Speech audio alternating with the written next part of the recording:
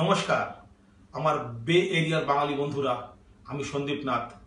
আসছি আপনাদের সাথে দেখা করতে ফগ টু থাউজেন্ড ফিফটিনের জন্যে।